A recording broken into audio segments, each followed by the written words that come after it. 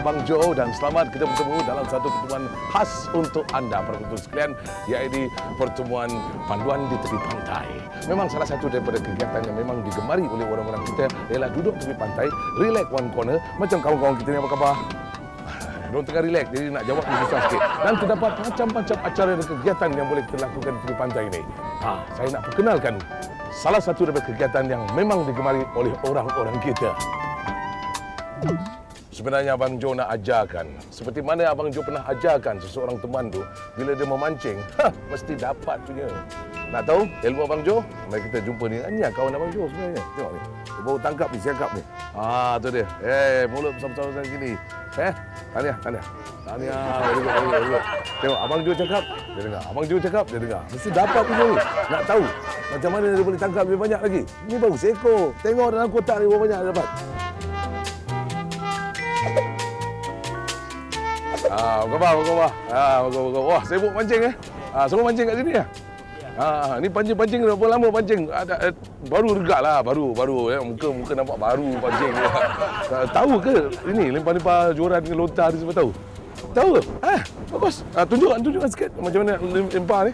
Bagi kita tengok dia, dia, dia lontar dia. Ah, baik-baik sikit, baik-baik sikit. Ah, kepala kepala tepi. Oh. Oh, tadi nampak gaya dia bagus, gaya dia bagus. Cuma dia dia lontar tu, ya ele nama dia. Ya ele. Ini kawan ni?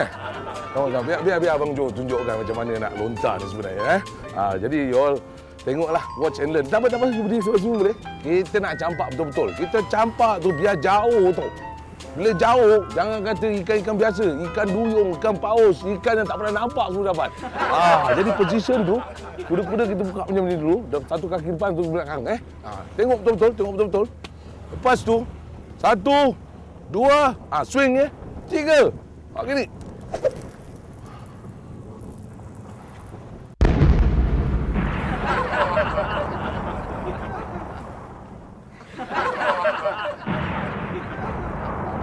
Dia pegang dia tu.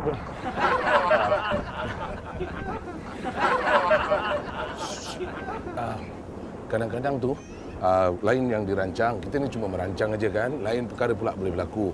Jadi uh, itu bukan kesilapan kita tau. Kita tak perlu bimbang. Uh, itu adalah satu keadaan yang belum tentu kita boleh kawal.